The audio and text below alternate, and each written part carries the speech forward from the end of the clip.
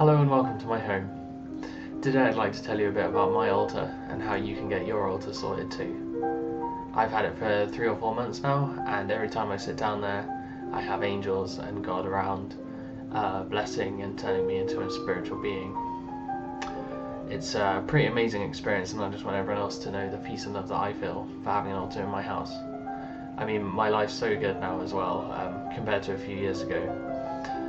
Um, and I think one of the reasons they've given me this lovely flat to live in is so that I can spend a lot of time praying and meditating on my altar and raising my consciousness and therefore the consciousness of humanity. Just, uh, just get one. Seriously, it's like the best thing ever.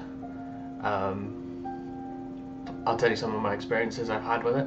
Like the Illuminati consciousness was around, uh, the giant lizards, but they're from another dimension, so there's no like forms of them here, which is obviously pretty brilliant. But their consciousness still is a, I'd say, a decision has to be reached rather than a thorn in the creator's side.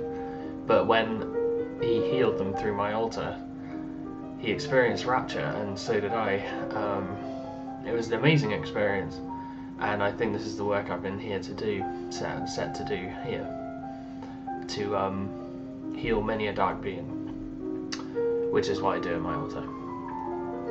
I meditate and pray in it as well.